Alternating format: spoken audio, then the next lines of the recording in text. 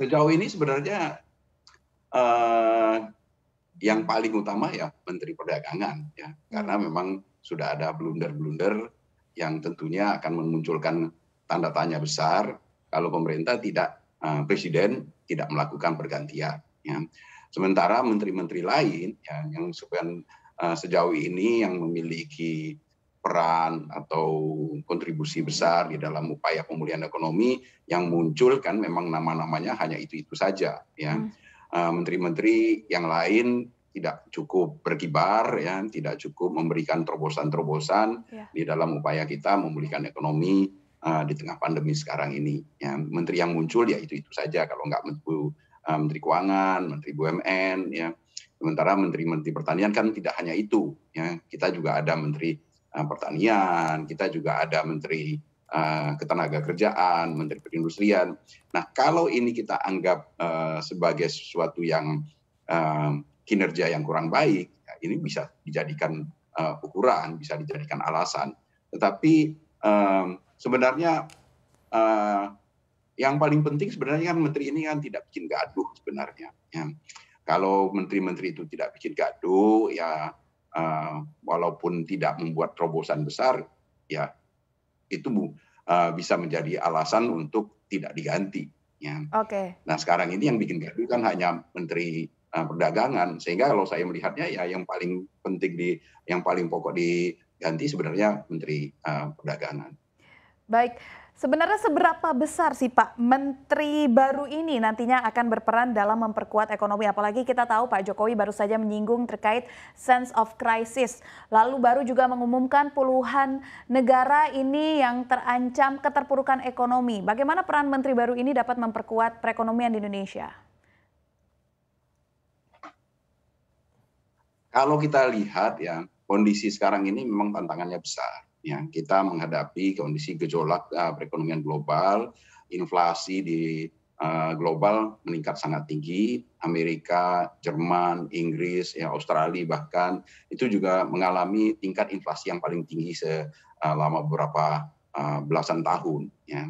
Dan ini disebabkan oleh uh, kondisi di global, ada hambatan supply, ya, kenaikan harga energi dan sebagainya tentunya ini akan berdampak negatif terhadap perekonomian kita.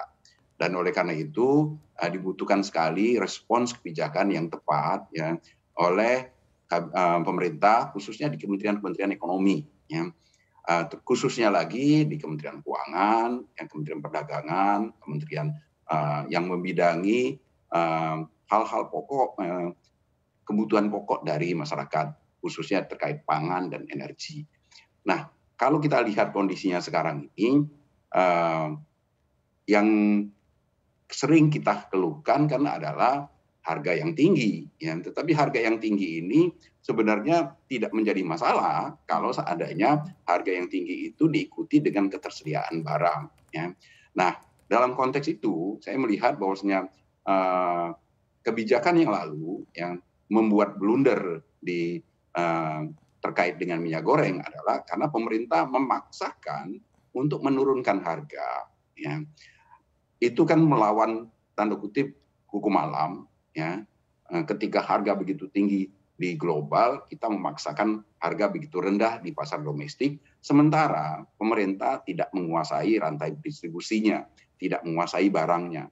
Yang terjadi kemudian adalah penimbunan dan penyelewengan ya termasuk penyelundupan sehingga barangnya mah tetap mahal ya murah disebutkan tetapi tidak ada barangnya dan itulah yang sebenarnya memunculkan kegaduhan hmm. eh, masyarakat berteriak karena barangnya tidak ada yang sementara kita adalah produsen terbesar di dunia yeah. menjadi sebuah ironi nah itu Baik. yang kemudian sebenarnya menjadi Baik, persoalan kita pada waktu yang lalu Baik Pak Peter, saya ingin ke Mas Arief. Mas Arief masih dalam rangka memperkuat perekonomian di Indonesia. Lantas, apa yang bisa dilakukan oleh Mendak ke depannya?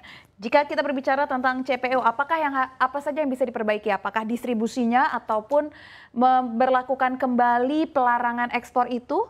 Bagaimana tentang Bapepti? Ini apa lagi yang bisa diperbaiki oleh Mendak? Silakan Mas Arief. Ya, kalau secara umum memang tantangan Kemendak kalau kondisi global seperti sekarang hmm. adalah mengamankan pasokan. Gitu. Hmm Jadi kita harus Menteri Perdagangan harus memetakan kira-kira produk-produk atau komoditas pangan apa saja hmm. yang Indonesia masih harus mengimpor hmm. dan ya kita tahu lah gandum gitu kan. Nah, kemudian juga uh, kedelai misalnya hmm. jagung. Hmm. Nah, semua udah tahu dan Menteri Perdagangan harusnya mengamankan pasokan itu. Hmm. Uh, di, uh, harus ditekan uh, deal kesepakatan jangka panjang untuk hmm. memasok gandum dari negara mana yeah. untuk mengantisipasi kelangkaan dan hmm. kenaikan harga yang akan hmm kita hadapi kemungkinan dalam waktu uh, tiga atau empat bulan ke depan kalau hmm. mengikuti perkiraan WTO ya selama krisis di Ukraina terus berlangsung maka risiko itu akan terjadi dan Kemendak harus lihai untuk melihat itu. Jadi memang kita sekarang ini bukan produsen gandum ya. Kita tidak produksi gandum secara besar-besaran, ada tapi tidak besar. Dalam negeri tidak bisa memenuhi kebutuhan kita sendiri, kita masih harus impor.